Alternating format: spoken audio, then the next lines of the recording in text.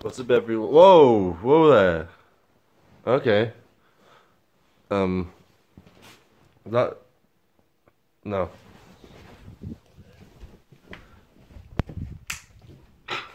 Okay, what's up, everyone? It's your boy Reaction Boy here. Um, I'm gonna do a little review to um a video that popped up that uh would interest me. Um, whoa.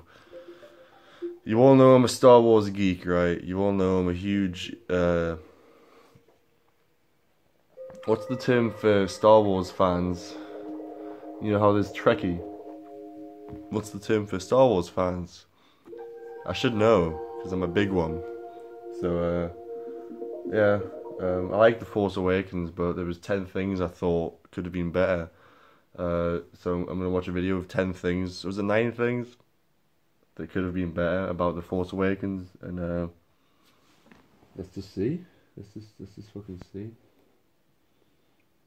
Uh, better Force Awakens. Should have booted up the video before. Before I hit play. I'm gonna pause for a sec first of all, there's so many videos about Force Awakens, man.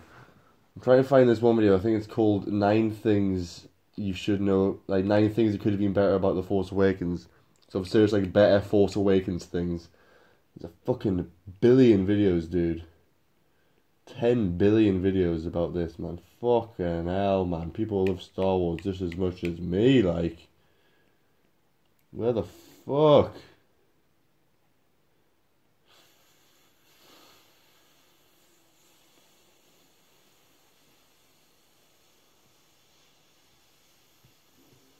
Fuck me, man. Alright, I'll find it. Right, it took about 28 years. It took the time in between the uh, Return of the Jedi and The Phantom Menace to... I'm that much of a geek, I know how many years it was apart from each. So here we go. 10 simple fixes to improve Star Wars The Force... Advert.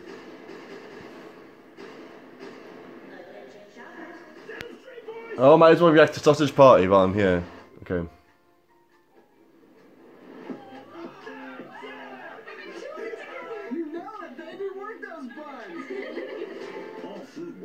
Is to come home with us. Oh, feels amazing. But nothing can prepare them. Dana, way to go, buddy! For how we prepare them.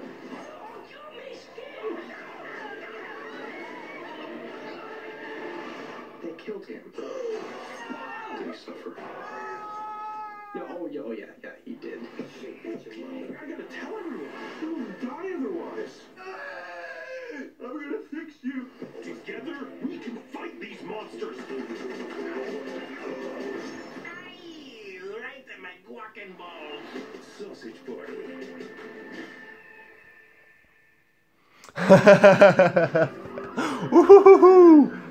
Right, it's into a sausage party reaction. It's now a lot of fun, right?